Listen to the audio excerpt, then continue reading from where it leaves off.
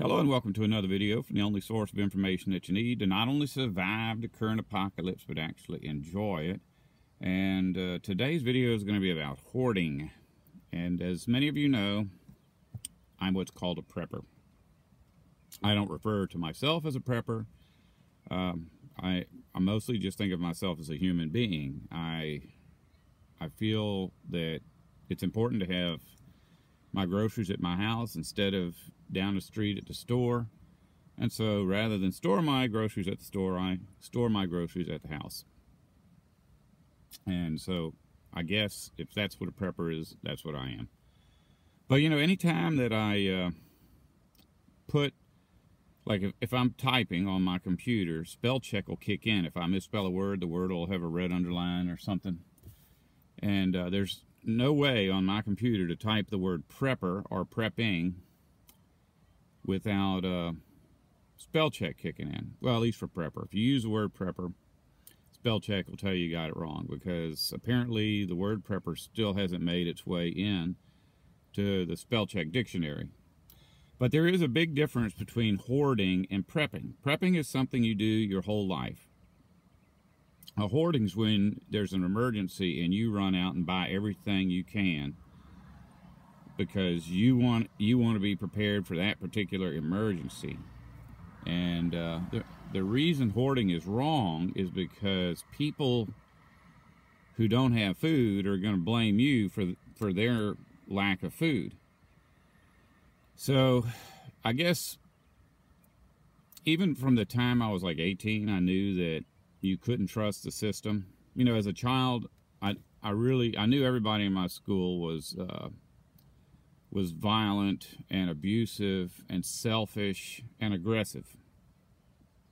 And I thought, you know, I've got to get out of this town. So I joined the Navy because I'd been watching war movies all my life, and it looked like a good life. But you get in the military, and you're going to be in there with the same people that you were in high school with, or somebody was in high school with. So all the bullies from all the high schools end up in uh, in the military, or at a job, or in uh, your government, or on your police force. And so at that, it was then that I realized that the world I had grown up in, the school world, where violent, aggressive, selfish people were the norm. That wasn't the school world. That's that's the normal world. That's the world we live in.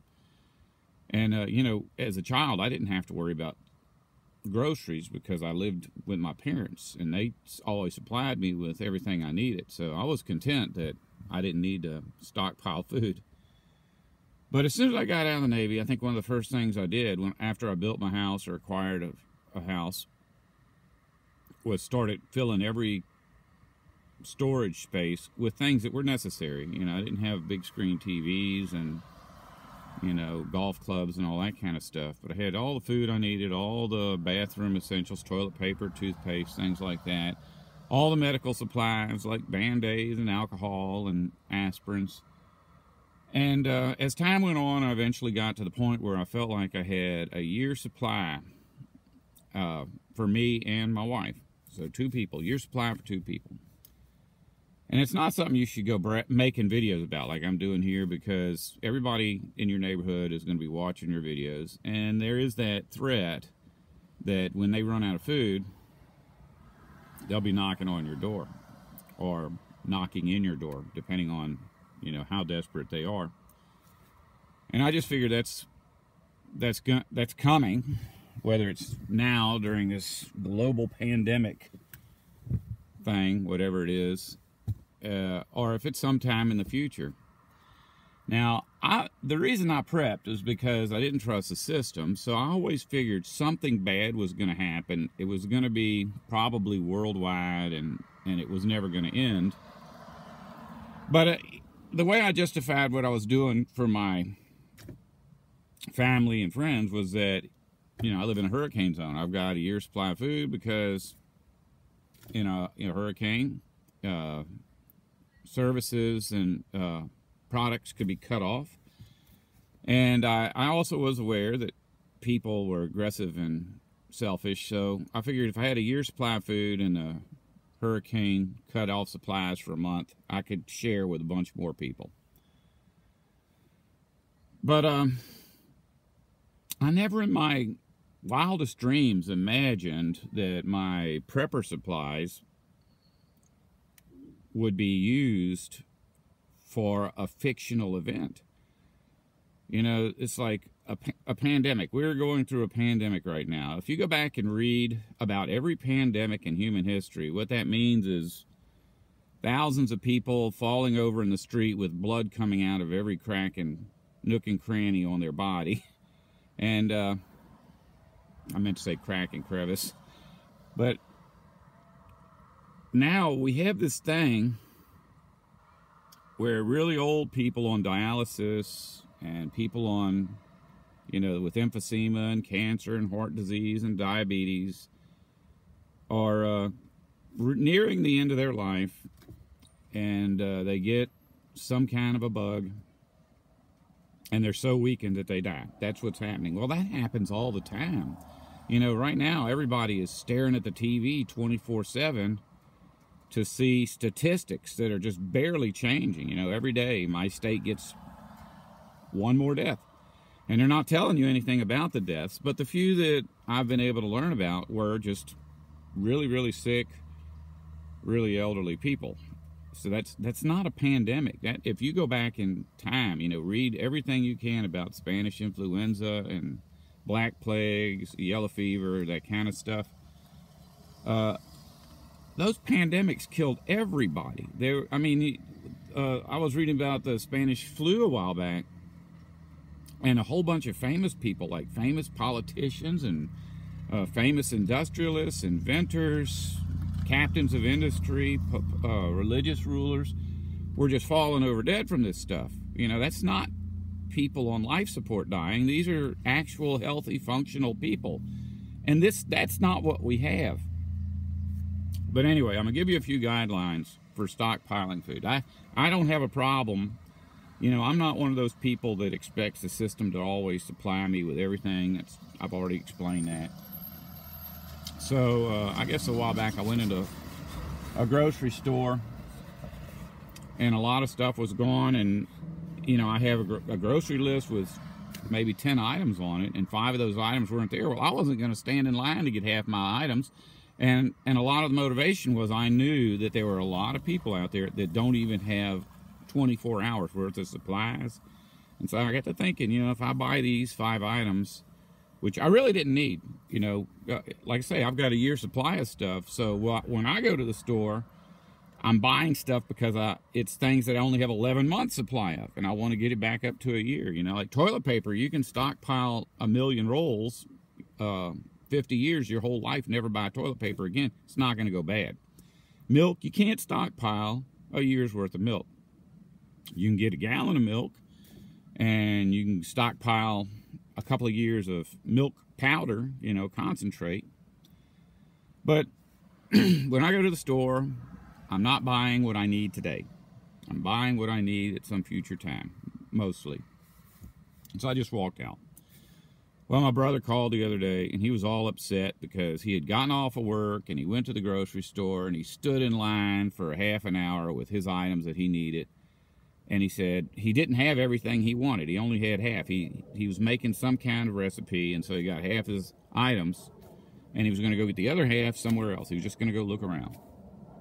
But he got mad, so he just pushed his buggy off and he left without getting his stuff. And he went to the next grocery store thinking, I'll just get everything there. He got there and it was the same situation. Half the half the ingredients that he needed were gone, and uh, he wasn't going to get just get the half that was available because it wouldn't do him any good. What he was just buying for his recipe. So he was going off about hoarding and how terrible it was, and how he hoped all those people would, you know, have something bad happen to them, and I said, well, you know, I've been telling you for years, you really need to stockpile food because things like this happen. And when they happen, all the people who don't stockpile are going to take away the stuff you need. So if you've got it at your house already, that won't upset you. But he was really upset. He was, you know, physically, he, you could tell he was just really, really tore up about this. And, uh, you know, people, when they get that desperate, they'll start beating you up, taking your stuff, killing you for your stuff. So it's a bad thing. But, uh, you know, my hopes are that if somebody realizes how bad this is, that whether they go run out and hoard a bunch of stuff or not, that they'll change their entire mindset and start stockpiling food. You know, that, that would be a good thing. But I can tell you that what's really probably going to happen is that when this is all over with, people will go right back to having nothing. You know, and the sad thing is a lot of people like religiously follow the the dates on canned food, you know, or whatever. So they've got stuff they they buy enough to last them a year, and they don't eat they don't eat canned food from cans that are over a year old. So they go through their groceries, they throw away everything they bought for the pandemic. It's just wasteful and it's it's stupid. And if you you go back and think about what they did, they stole food from other people and then they just threw it away like it was nothing. That's that's probably what's going to happen. Now, sometimes when these things happen, and I've seen it before, the people who don't have anything will demand justice of those who hoard and so the police will actually arrest people, take all the items they hoarded, uh, put them in jail, fine them, and uh, make their lives miserable. The problem for a prepper is that you could be thrown in with that bunch. If they start going around and arresting people for hoarding food and you're a prepper, you're going to get arrested too and I don't know that there's anything that, you know, the, the legal system is a fiction, so no one really cares about your side of the story. But one of the things I was thinking about is that you you pay for everything with a credit card or you keep all your receipts or you, you know like for me when i get uh, like every now and then i'll i'll go and uh, take inventory and I'll replenish my supply of the entire system and I'll write the dates. So I got dates written on a lot of my foods that that you know like canned food and stuff.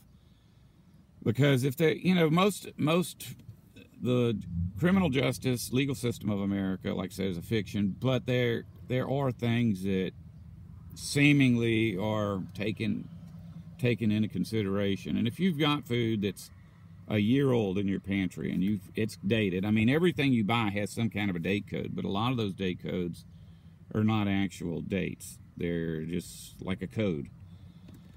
But if you've got all these things there and they've got date codes on them, and you write the date, the date that you purchased the item on the can, which I usually do, and you get arrested, you're going to have a much better chance of proving that you didn't go out and purchase all of these items on the day of the disaster that you've been carrying them around with you for years. And it may get you out of trouble. But when I talked to my brother about this stuff, he, he I, I asked him, I said, Do you think that I'm wrong for stockpiling food? And he goes, No, you're responsible. Being responsible is not the same as being selfish. You know, and he understands that when I started this whole project, that I was planning on sharing with my neighbors but he also knows that after years of living with my selfish neighbors, uh, I've started stockpiling bullets because I'm not going to let, you know, I'm not going to spend my whole life being a responsible person just to have some selfish person come do me harm to take away uh, the things that I own. So I hope that's food for thought and that if you're going through this and you don't have a, a regular supply of toiletries and medicines and food and water, that you'll put some kind of system into place to have those things. Or at the very least, that you don't run out and buy everything up when people are suffering. Another thing that, that you could do is take this information and just you know take the situation we're going through and learn from it you know i had always imagined that my food would come in handy if uh, a horde of soldiers from another nation were to invade the country and everybody went into lockdown you know something real um, i never imagined that people would be fighting over food because of a fiction. Oh well, I guess I should have known. If you don't want to survive, don't listen to me.